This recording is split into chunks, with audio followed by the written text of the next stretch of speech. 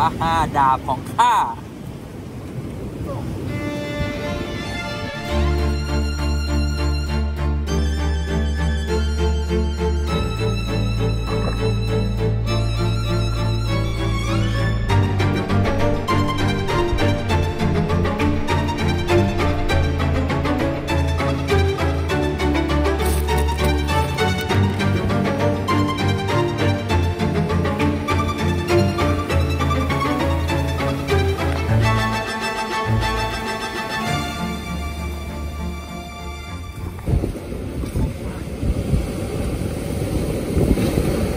ครับทุกคนครับวันนี้ผมจะพามาดูน้ำแข็งนะครับ ผมที่อยู่ชายฝั่งทะเลนะครับ ตอนนี้เขาเป็นน้ำแข็งกันหมดแล้วนะไม่ว่าจะเป็นหินไม่ว่าจะเป็นต้นไม้ไม่ว่าจะเป็นตอไม้นะครับ ที่อยู่ฝั่งทะเลนะครับเขากลายเป็นน้ำแข็งอย่างที่เห็นนะครับ เห็นไหมครับโอ้โหหนักมากโอ้โห ความสวยงามจะขนาดไหนนะครับ เราไปดูกันเลยครับผม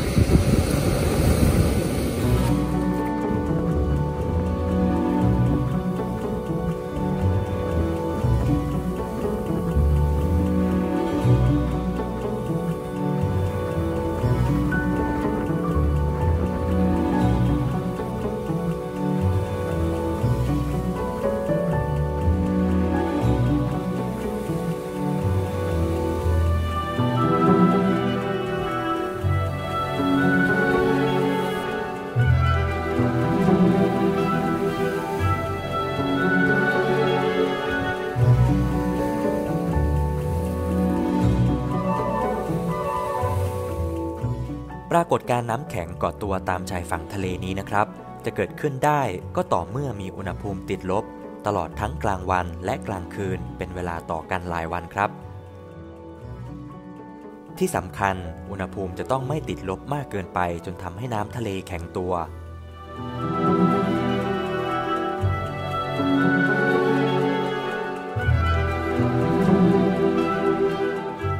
ในวันที่มีพายุและลมแรง น้ำทะเลจะซัดเข้าฝั่งอย่างบ้าคลั่ง น้ำทะเลที่กระทบฝั่ง และกระเด็นกระดอนออกไป จับกับโขดหินบ้าง ต้นไม้บ้าง กิ่งไม้บ้าง และได้แข็งตัวลงในระยะเวลาไม่กี่นาที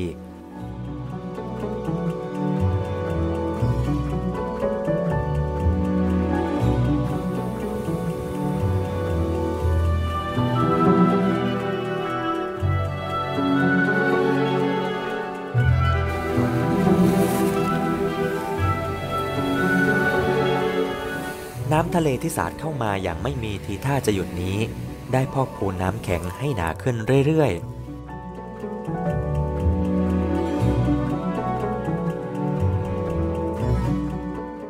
บ้างก็พยายามหยดลงบนพื้น แต่ไม่ทันถึงไหนก็ได้กลายเป็นน้ำแข็งย้อย สวยงามให้เราได้เห็นอย่างในภาพครับ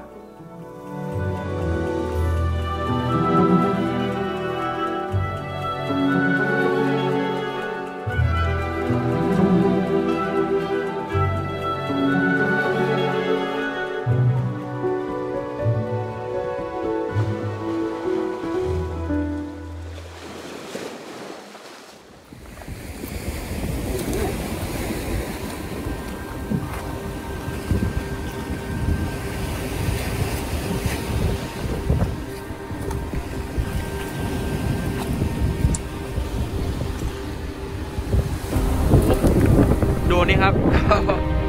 ยาวมากเลยอะ อันนี้เป็นหญ้านะครับ กอหญ้านะ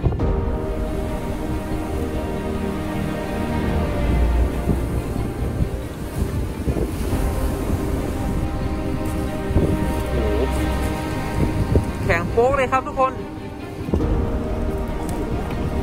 ดูครับ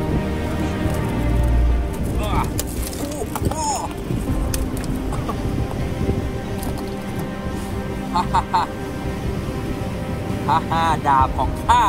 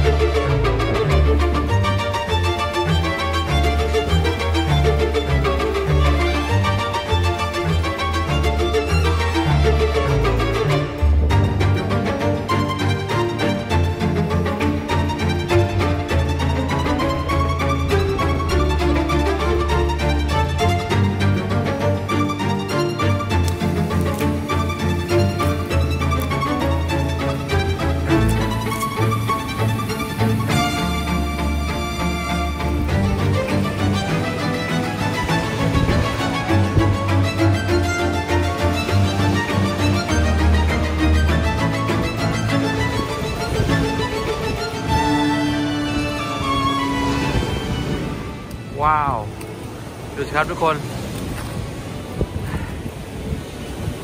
สุดยอดเลยอะ สวยมาก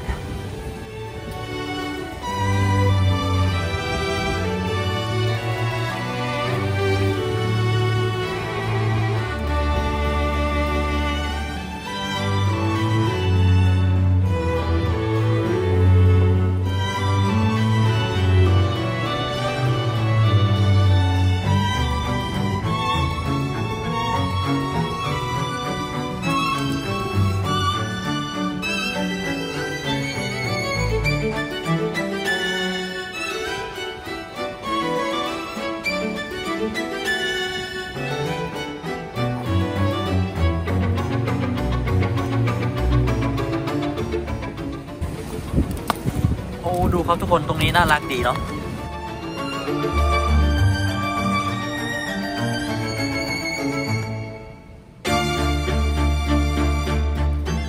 ส่วนตรงนี้นะครับก็เป็นฟองจากคลื่นทะเลนะที่เขา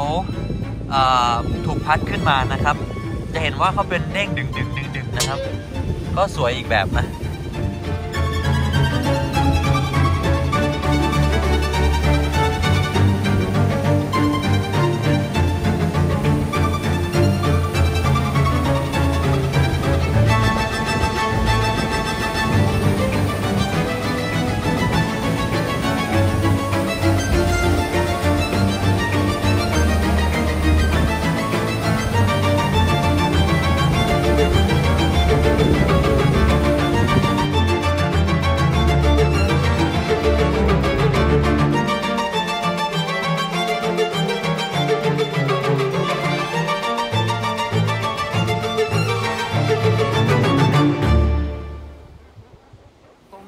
ผมก็เป็น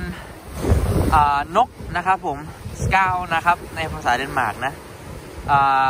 หรือว่าภาษาไทยเนี่ยผมคิดว่าน่าจะเรียกนกกาน้ำหรือเปล่าผมโอ้ยน้ำโอ้ยห่วยในภาษาไทยไม่รู้ว่าเรียกกาน้ำหรือเปล่านะครับ ผม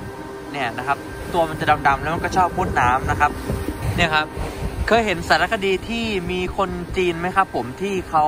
อ่าใช้นกประเภทเนี้ยครับที่ให้มันลงไปจับปลานะครับ แล้วก็เขาก็จะผูกขามันไว้อย่างเงี้ยครับผมแล้วก็อาพอมันได้ปลาขึ้นมาเนี่ยเขาก็จะแบบให้มันขย้อนขย้อนออกมาอะไรเงี้ยนะครับผมอ่าอันนี้ก็เป็นเป็นนกชนิดนั้นนะครับ ผมไม่รู้ว่าเรียกว่าอะไรนะอุ้ยนกเยอะเลยบินว่อนฟ้าเลยครับโอ้ยโอ เค ก่อนที่เราจะเปียกมากกว่านี้นะครับ หรือว่าน้ำจะซัดเราเนี่ย เดี๋ยวเราเราไปกันดีกว่าเนาะเอ้ยเอ้ยน้ำน้ำน้ำ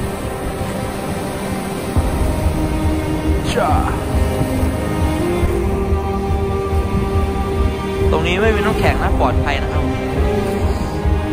แล้วตรงนี้โยกเยกเลยฟ้าถึงทั่ว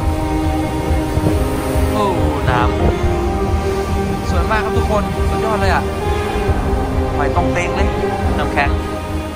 และสำหรับคลิปนี้นะครับ ผมก็เอาความงามของน้ำแข็งนะครับผมที่อยู่ฝั่งชายหาดของประเทศเดนมาร์กนะฝากนะครับ จริง ๆ แล้วน้ำแข็งแบบนี้นะครับไม่ได้เกิดขึ้นบ่อยนะครับ ก็จะเกิดขึ้นในช่วงที่อุณหภูมิมีความหนาวติดลบไม่ว่าจะเป็นกลางคืนกลางวันเนี่ยเป็นเวลาหลายวันโชคดีมากครับที่ผมได้มาเห็นวันนี้นะก็ถือว่า ได้พาทุกคนมาชมด้วยนะครับผมแล้วพบกันในคลิปหน้าจะมีเรื่องอะไรตื่นเต้น เดี๋ยวคอยติดตามนะครับขอให้ทุกคนมีความสุขนะครับผมนะครับ